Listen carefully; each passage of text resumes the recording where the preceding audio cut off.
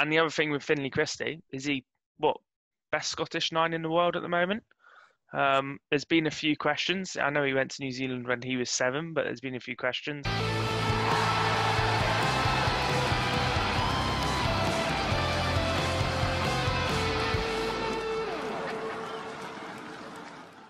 Right, hello. And in the week that London Irish finally announced some signings as Homer comes home, plus Simmons becomes the latest Irish Wallaby, and Ben Smith and Aaron Cruden signed for the Kobe Steelers.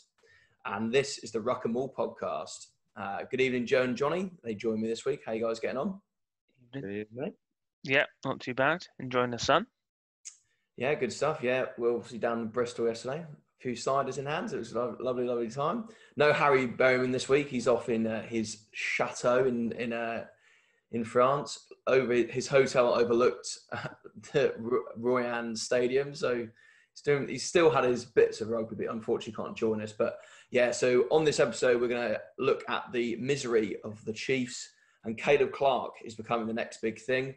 Over in Super Rugby AU, it went to Super Time, baby uh, and Hansen breaks the Reds' hearts. Uh, we're, we're going to also look for our players of the week and discuss the centre partnership in our Lions 15. And maybe is it time for us to get some Irish and some Scottish players in the team? Because currently it's just English and Welsh at the moment. Anyway, right, let's start with the rugby of the weekend. And first game up in Super Rugby Aotearoa was the Chiefs versus the Crusaders. Uh, the Crusaders taking it in the end 32 19.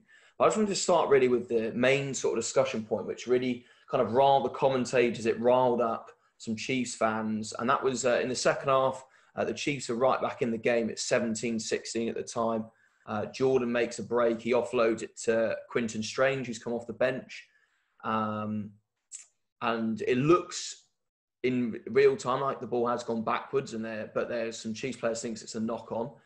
Um, and their commentators are very much anti the referee's decision that the the they took a long time to deliberate over it. And for me, the more you see of it, it looks to go backwards. What's your what's your thoughts, lads, as a key moment of the game?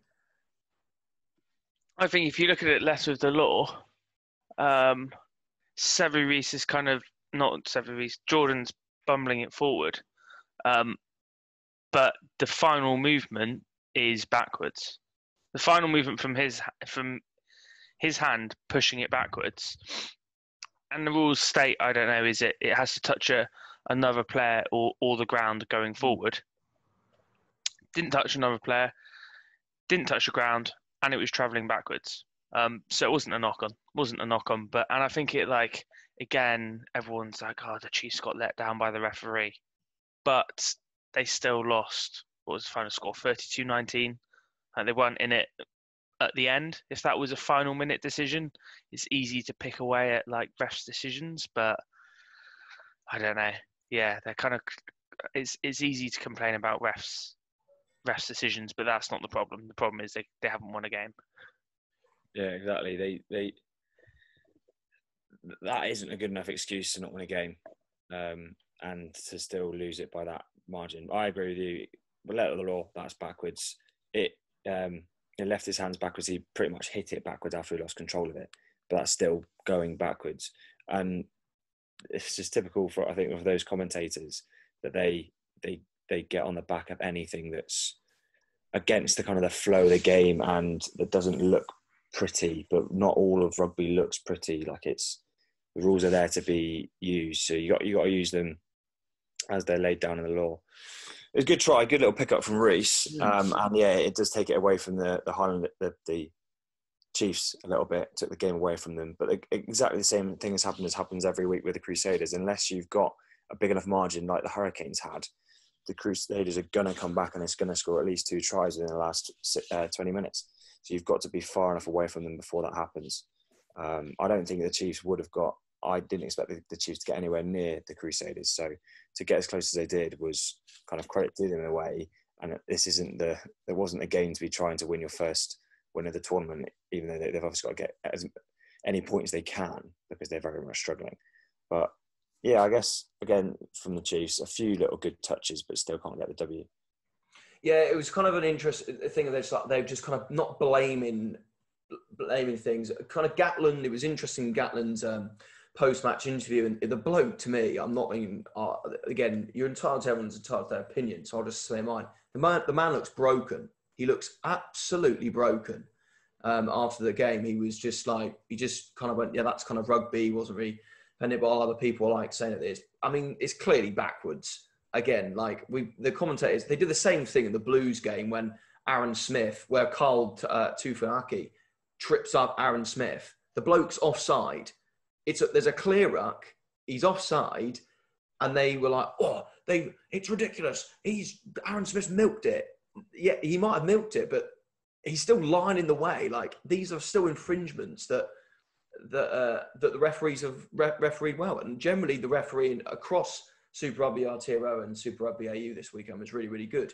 But again, we, we you can't hide away from the fact that the Chiefs were beaten, and again were beaten quite comfortably. Like Crusaders scored two um, set piece work tries where the first one from Sanders, which is just shows from him moving to eight, unbelievable gas that they've gone back inside. That was a fantastic finish to poor old Damian McKenzie got run over. Yeah. And then the Leicester Fainga'anuku, who in his last outing against uh, the Highlanders, who thought maybe deserved the try, got one again where they've come back down the short side and um, the replacement hooker, I can't remember his name, put it back into Richie, and who Richie had another good game as well. But again, they were always that again that another step up. And though Boshier had a good game, again took it over. Sowakula had a good game for the Chiefs. They're just yeah, they just haven't got the the that that next bit to get them up to the, the level they need to do to take the win. And like looking at it, what they only scored one try, and Crusaders scored five. Yeah. And like that's that's a big difference, and they they're just like I just can't. They just don't seem to gel as a team. They've got some great individuals, but at points it kind of looks like mm, we're just chucking the ball around here. And like it's, I don't know, they're not. Then, and I feel there's an awful lot of pressure on McKenzie and people like that to suddenly perform now. Um, and Sam Cane still put put a good shift in. I think he had something like 18 tackles. Still doesn't look kind of there. I mean, it might get to a point now. Actually, they know Cruden's off and people like that. They might as well give their young guns a go now because what's what's happening now is not working.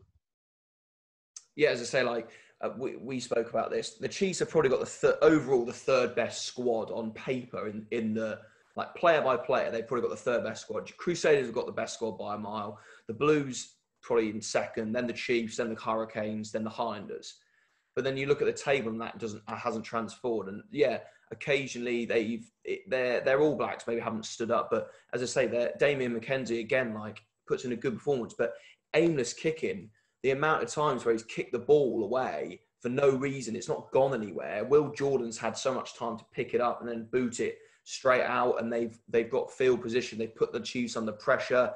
Um, they were, yeah, as I say, they were in the game again. They probably had more of the possession the first half, but again, the Crusaders, that the juggernaut they are, just absorb the pressure. And as you said, they, they've got the power to score, as I say, five tries. Like again, the Crusaders probably were in fourth gear. They were better than they were, they were better than they were against the Canes. They cut out the mistakes. Their line out was a lot better. I think a look, they had three line outs in a row where they changed the lit, they changed the jumper. So it was like Whitelock, then Havili took one, then Sanders took one, then Dunshea took one. So it was really difficult for them to read. I mean, they're much better. They put themselves in a really good position again to go on and win the, the whole tournament. But I don't know. Sort of my thing is, put to you, it's slightly controversial, but is Gatland the right man for the Lions now? The thing is, like with the Lions, is that you can't go on a seven-game losing streak because you're not playing seven tests. If, if if it goes badly in one test, he's got to turn it around straight away. And there's a question: Will that happen? Um, is he willing to mix up that much, or have kind of a like it just it just seems like I, I haven't noticed huge amounts that kind of the Chiefs have improved in little areas, but they haven't kind of done an overhaul. And there might be a Lions test where you it doesn't work in the first test, you know, let's do something completely different. And I couldn't see Gatland doing that. Um, and it feels like it, it's a weird thing just to kind of confirm. When did they confirm Gatland is the Lions coach? Oh, Eight ages ago, and it I kind of it's yes, it's great to have that consistency, but do, do you need to have that consistency? Is it going to change? Like, are they going to be thinking for I don't know a few years how to beat South Africa, or could it be announced this summer? They're not going to announce a squad to what next April.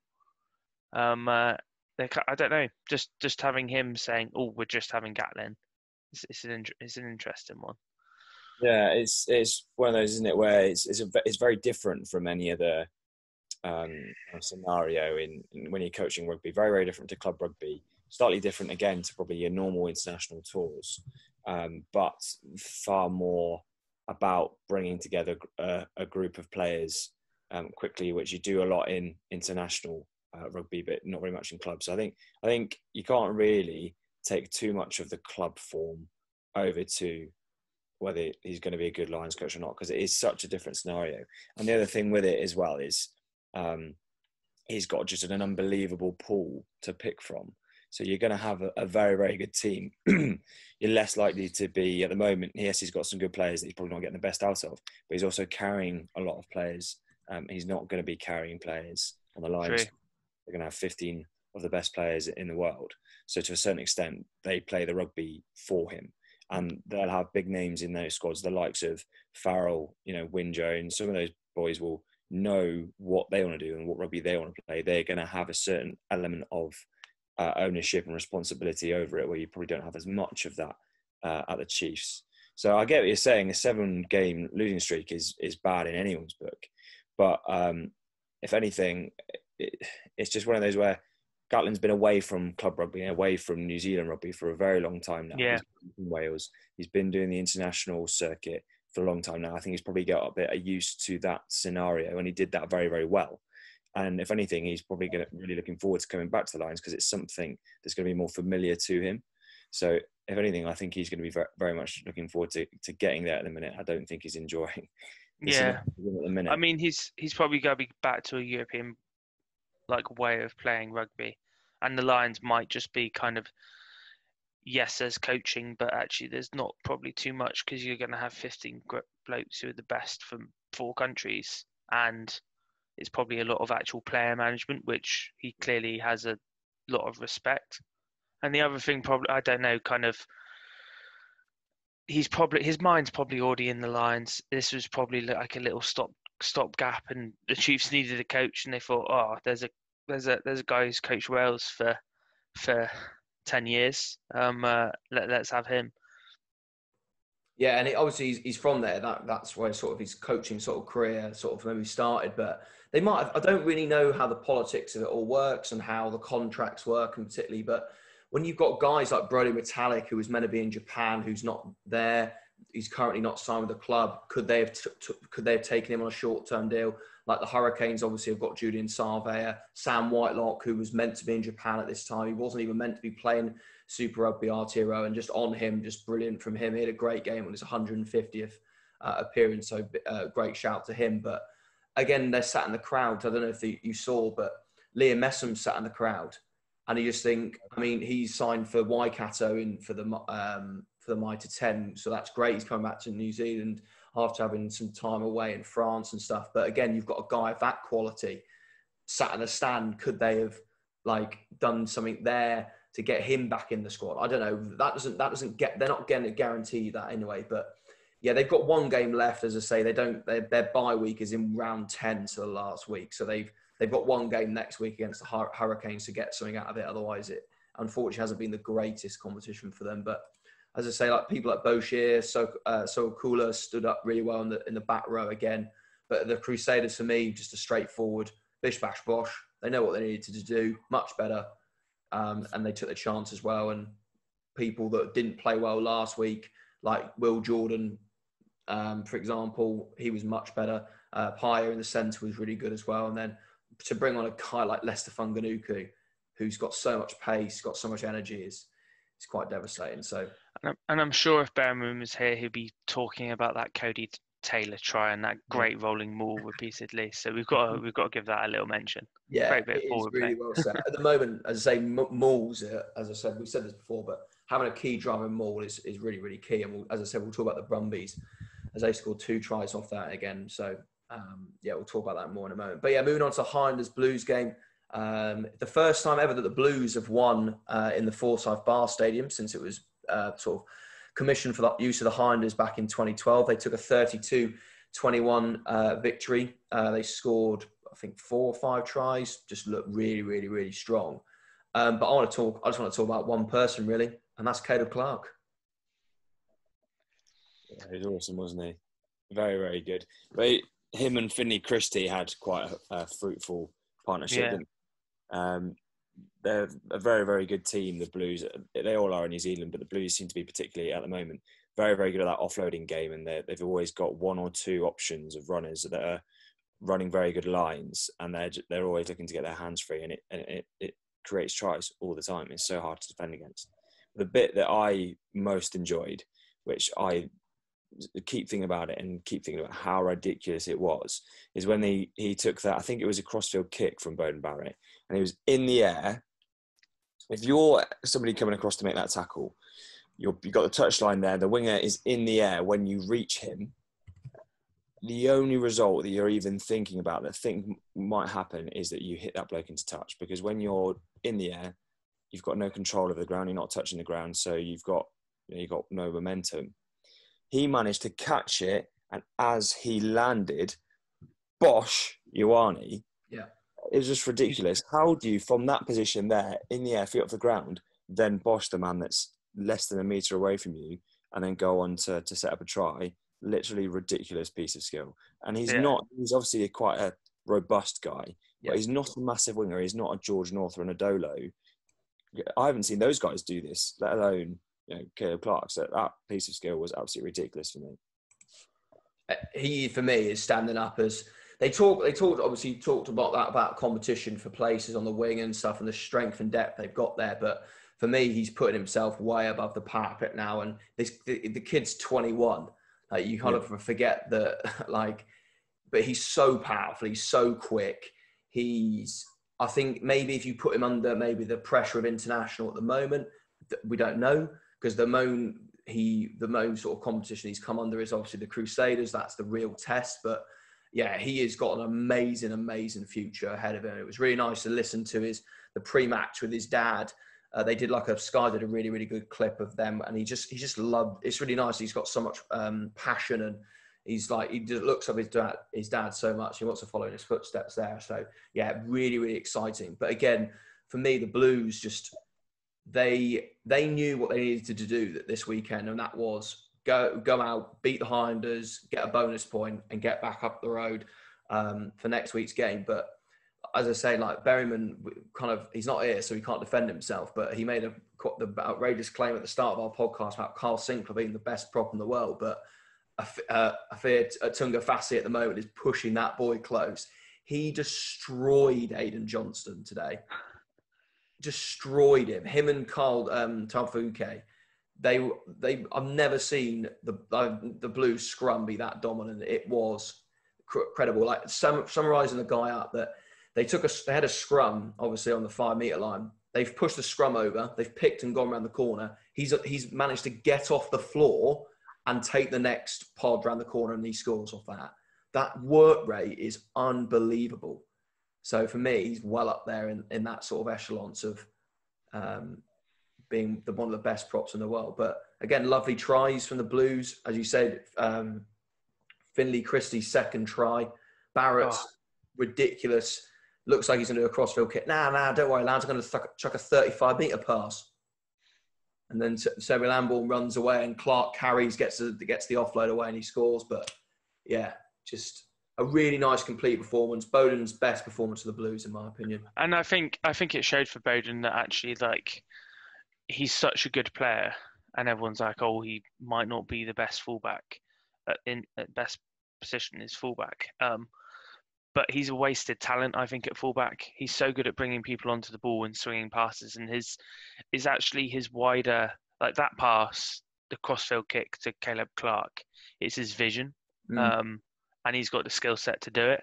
Um, and he does. He, he he always looks like he's got time on the ball and he knows what he's going to do. It never looks kind of he's completely kind of just slinging passes about. It's it always looks kind of planned. Um, and the other thing with Finlay Christie is he what best Scottish nine in the world at the moment. Um, there's been a few questions. I know he went to New Zealand when he was seven, but there's been a few questions. Kind of, he's been. I don't know how many teams he's been in. I think this is his third Super Rugby team.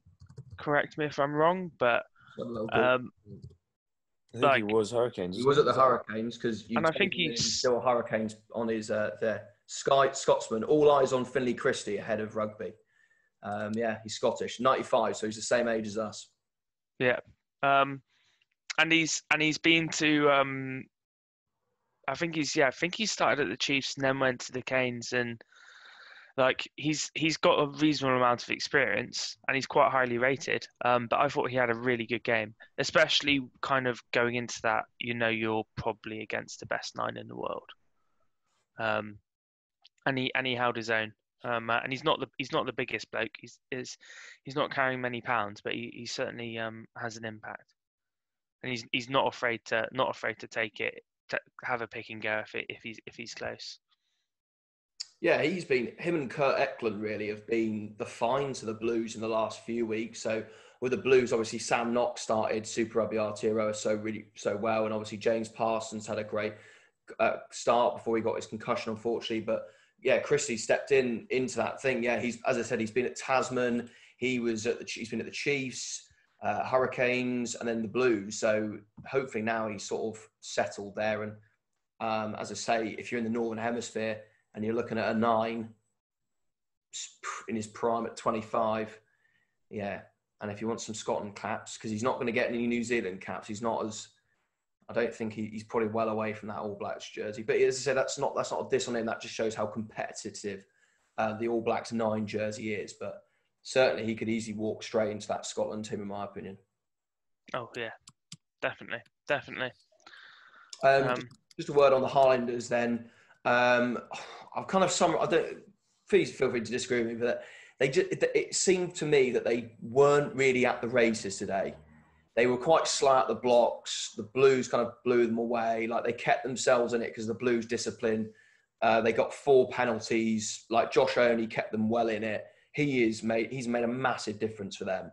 Like we talked about, Mitch Hunt is a decent player in that role, but flipping Nora, he what he is seriously good. This kid, um, and, and again, if you want to find someone that, if you want to get someone up in the Northern Hemisphere that maybe not maybe makes it in the All Blacks team, he would be an amazing, amazing addition to anyone or around the world. So again, uh, Frizzell, nice, well worked try for them, and then Josh, when when Nareki comes off the bench, again, he's just so quick, and I really thought they might nick a losing bonus point or try and nick something at the end, but yeah, there's not a lot to say from the Highlanders. They weren't at the best, and you've got to be at your best to beat the Blues. Yeah, definitely, definitely. Um, uh, yeah, they, they they still seem to yeah. For, given the squad they've got, they're doing pretty well. Though they're doing pretty well. It's a shame they didn't get a losing bonus point, but they they were yeah. They're not they're not looking too bad. Um, uh, I'd like I'd like to see them without Aaron Smith for three weeks and see what they're like there. Yeah, agreed. I think they've done a lot better than a lot of people gave them credit for, us especially as well. They will wrap that that wrap that game up. Then, as I say, the Highlanders have surprised a lot of lot of people um, with what they've done. As I say, they've got some good. Their All Blacks have stood up for them, and they've got some young talent coming through. Um, Josh McKay again was good on the wing for them. Um, yeah, as I say, just wasn't their day, and the Blues were a lot better. And they're going to put they're going to put pr- pressure on the Hurricanes and the Crusaders um, to get the jobs done. Really, as we go into the big game um, next week, which is I believe they're playing the uh, no, they're not. No, I'm one week ahead. They're not quite playing the Crusaders yet.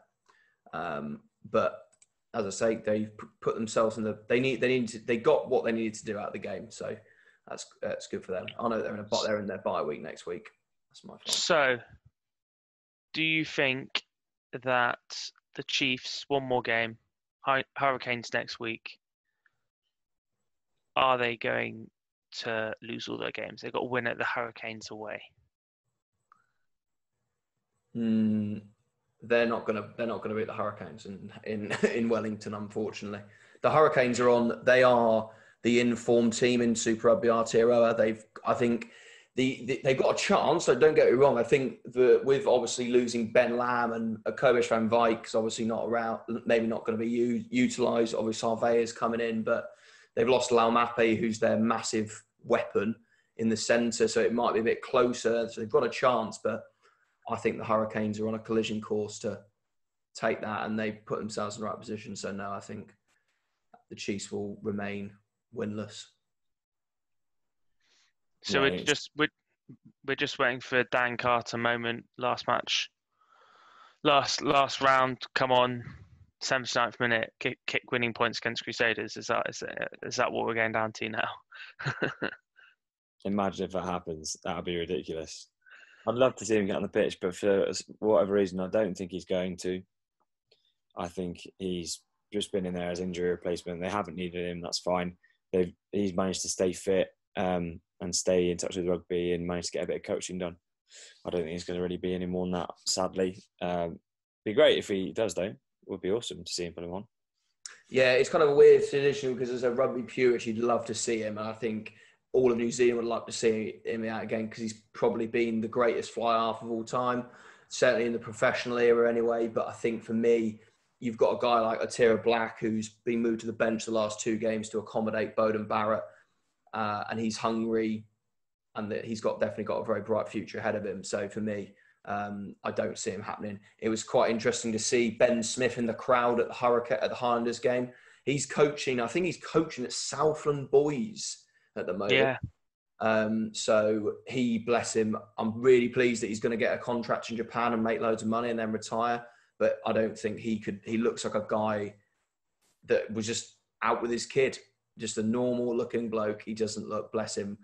I think age is getting on. He's he's on the wrong side of thirty now, but he definitely could still cut it, and he will do well in Japan, especially with him and Aaron Cruden in the same team. That Kobe Steelers team is going to be ridiculous. Um, but yeah, uh, that's uh, yeah on that on that point. But as I say, that wraps up sort of our chat on Super Rugby Aotearoa. Let's pop across to Super Rugby AU.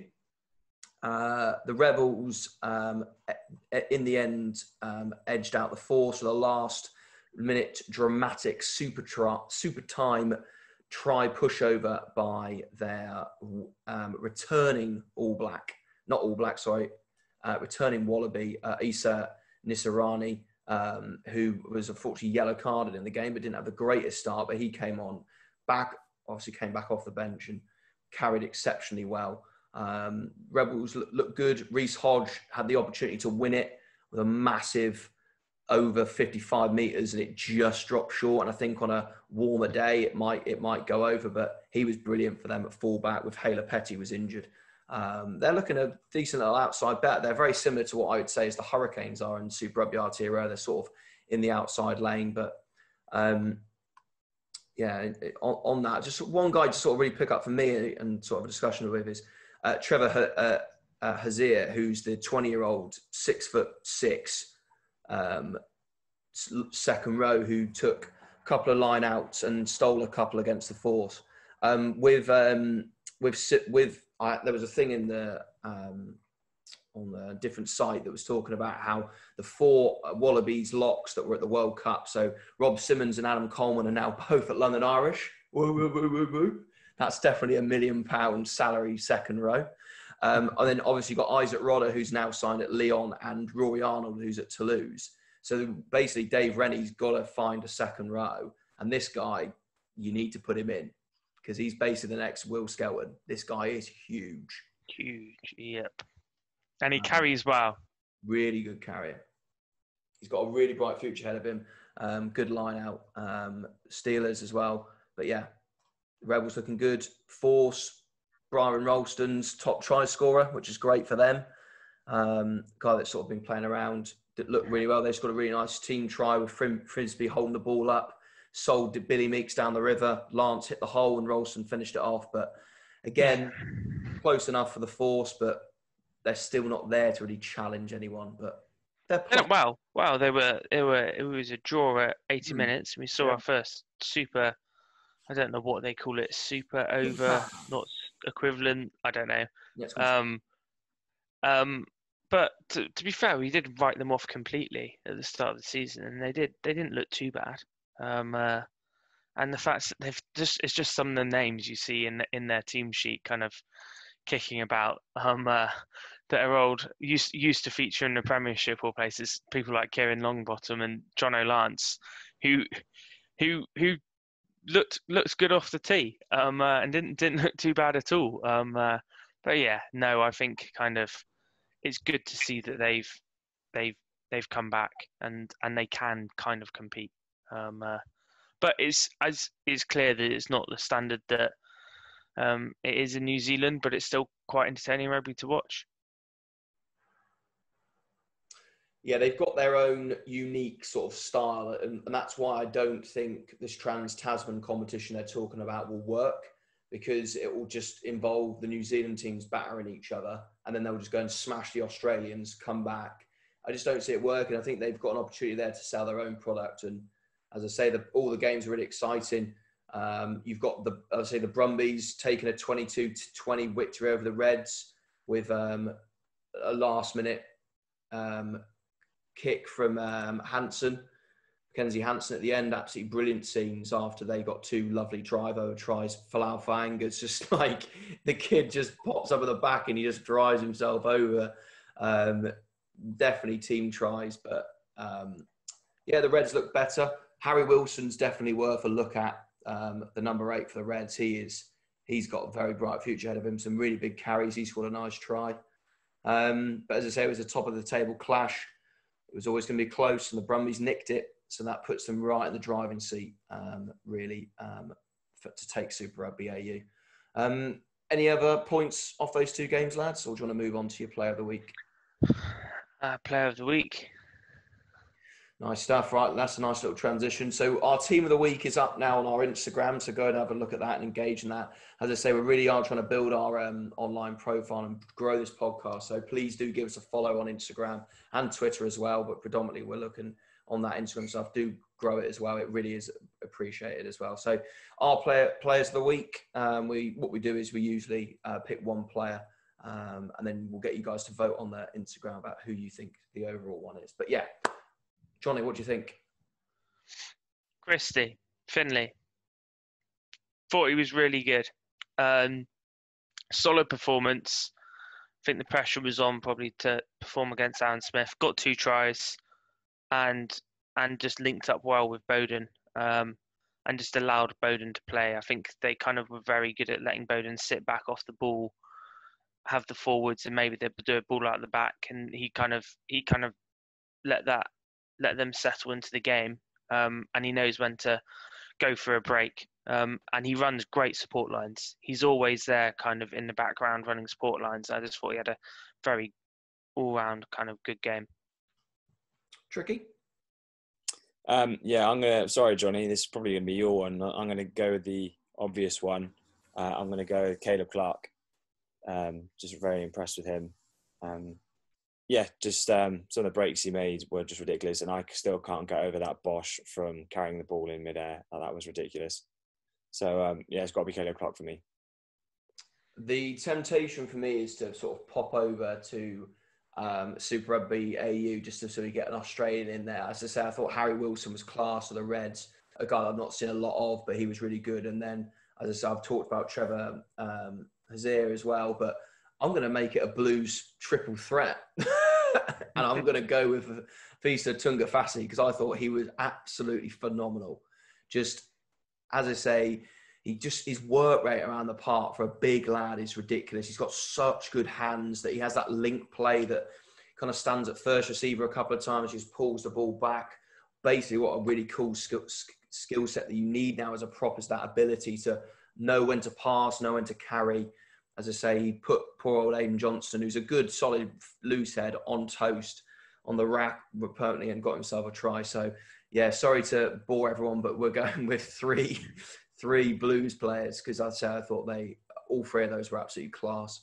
Um, but yeah, shout out to those guys we mentioned in Super Rugby AU because again, they were very good as well.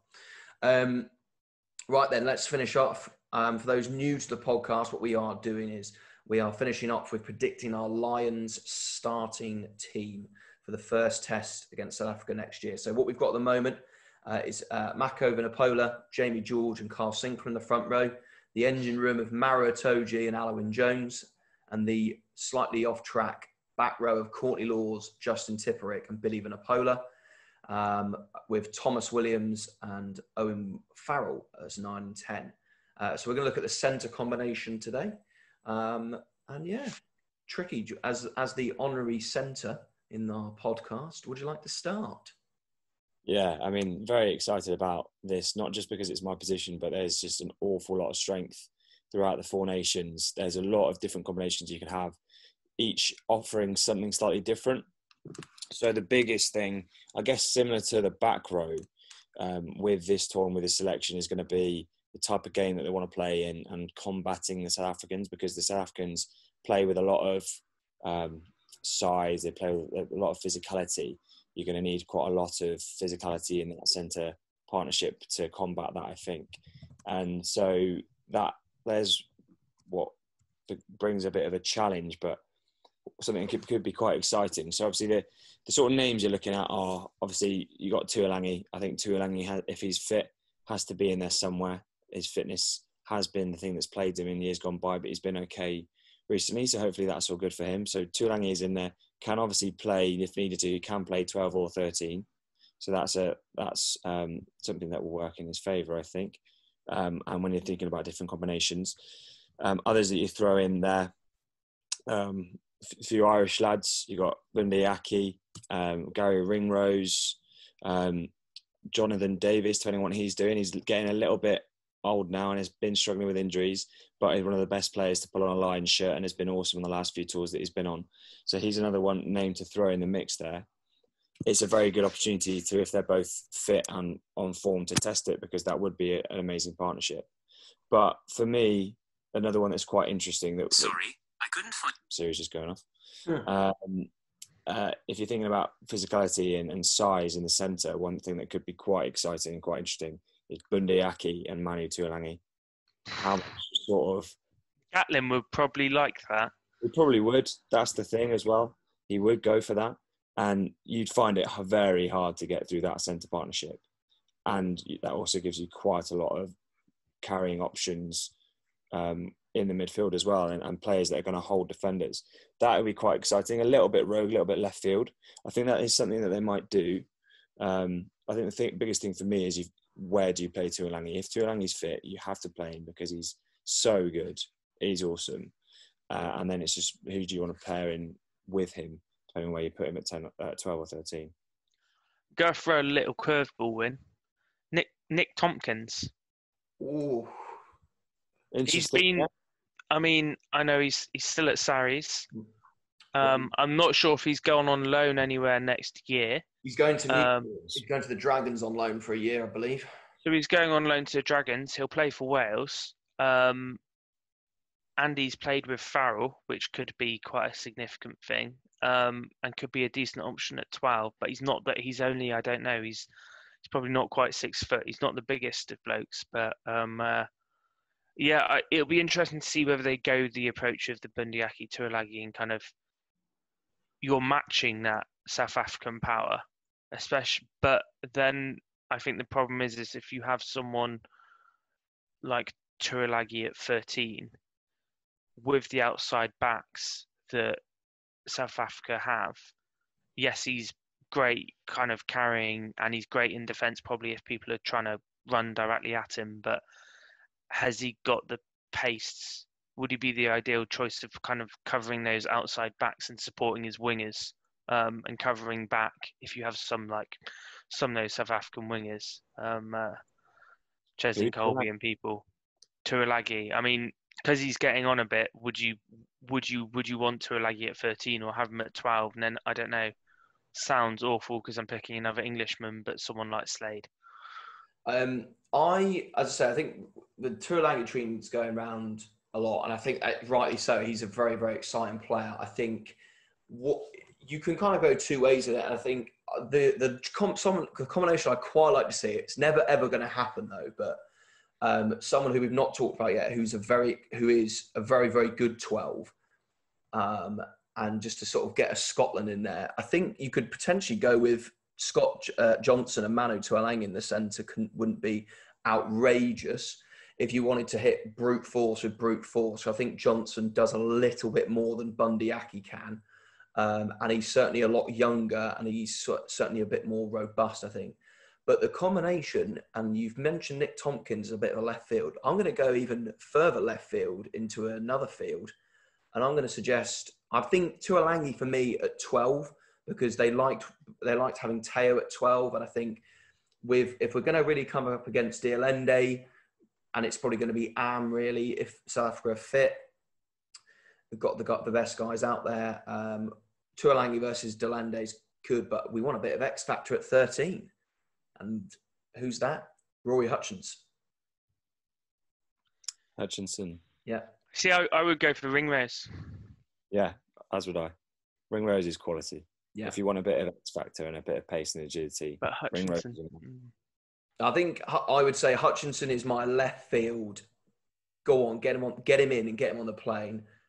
I think, as I said, the experience factor. But for me, I, and hope prop maybe the centre combination we want to be going downwards is Tuilagi and Ringrose. Because as I say, Ringrose is pretty much like Rory Hutchinson, but with a bit more, I say, high level international experience. Um, but they're very similar players. I would I would want to go with a balance of having a big twelve, so Tuilagi, Johnson, Bundee Aki, Davies. You could shift Davies in one because again, you talk about pace. If you're going up against Cheslin Kolbe and the like, Jonathan Davies is a fantastic centre, but he's not going. He's not getting back and taking um, uh, Kolbe anytime soon. So I would say propose Tuilagi and Hutchinson. Uh, not Hutchinson, sorry. I propose Tuilagi and uh, Garry Ringrose. That's what I would go with. I'll probably I'll probably go with that. I think the other question on the Lions I'm thinking about is or South Africa, sorry, is their centered partnership. They'll probably have de Allende, but who the other person is. Because thinking about it, is the rugby championship agreed for this year? Yet. There's a chance South Africa South Africa's last test will be the World Cup and their next test will be the Lions. They might not play another game between now and so they're not unlikely to play. I don't know. They might not play another game until the Lions. Could that well? That could in the case that could be. It depends on. Is South Africa coming up? No, they're not. No, it's not. It's Japan and um, Fiji. Japan and um, Fiji that are coming up to play, which is quite nice. I think that that'll be a, a unique competition.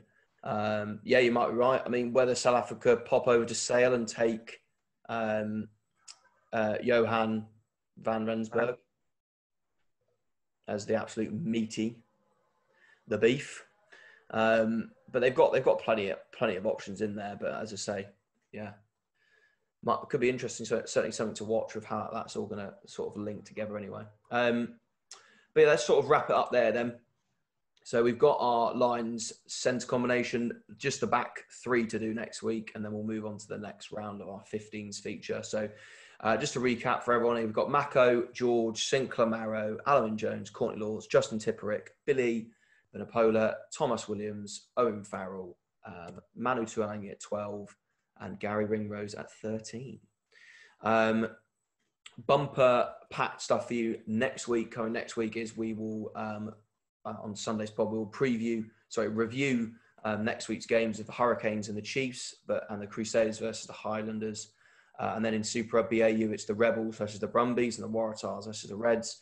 But we'll also be doing a um, little discussion about the restart of the Premiership as we'll be a week away um, from that. Um, and what we're going to be doing is this week is we're going to be posting um, 15s of play of what we think maybe the, the 15s of the Premiership teams might be looking as they return. And obviously they've got some big signings that have come in there. So we're going to talk about each team and highlight some uh, key players to what you can watch out for as the Premiership returns uh, on August um, the 15th, 14th, I think it is at the top off the top of my head.